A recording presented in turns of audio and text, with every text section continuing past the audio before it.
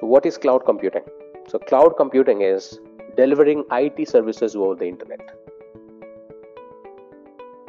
Venkat, if it is that simple, delivering IT services over the internet, I have a server at my house. I connect it to internet and I let my friends and colleagues access it over the internet. Can I call myself the cloud provider? You may say yes, I may say no, so we have to fight each other to the death.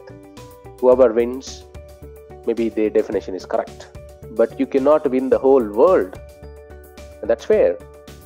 NIST, National Institute of Standards and Technology, United States of America, given five essential qualities to be mandated.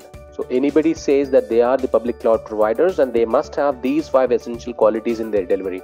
Otherwise, they are not. Cloud computing can be delivered in three models and it can be deployed in four models. So let's look at it.